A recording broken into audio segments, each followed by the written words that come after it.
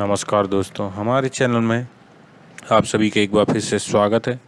दोस्तों, आज हम जानेंगे चंद्रगुप्त, गुप्त मौर्य के बारे में। दोस्तों, चंद्रगुप्त मौर्य चाणक्य ने चंद्रगुप्त मौर्य को तक्षशिला में शिक्षा दी। इसने सेना एकत्रित कर पश्चिमोत्तर भारत को यूनानियों से मुक्त कराया। 305 ईस्वी पूर्व में यूनानी शासक सेल्यूकस को पराजित कर अफ़गानिस्तान का क्षेत्र जीता। सेल्यूकस निगेटर सीरिया और बेबीलोन का शासक था। 322 ईस्वी पूर्व में धननंद को हराकर मगध का साम्राज्य जीता। यूनानी लेखकों ने इसे सेंट्रोकोटस कहा। यूनानी राजपूत मैग स्थेनीज चंद्रगुप्त के दरबार में आया। उसकी पुस्तक इंडिका में पाटलिपुत्र के प्रशासन का वर्णन है।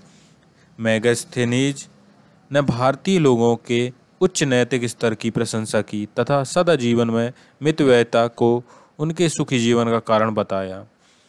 अर्थशास्त्र पुस्तक का संबंध राजनीति से था।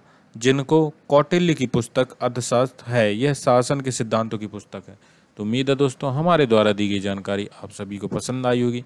अगर यह वीडियो आप फेसबुक पर देख रहे हैं तो हमारे फेसबुक पेज को लाइक करें और अगर यह वीडियो आप यूट्यूब पर देख रहे हैं तो हमारे यूट्यूब चैनल को सब्सक्राइब करें। धन्यवाद दोस्तों।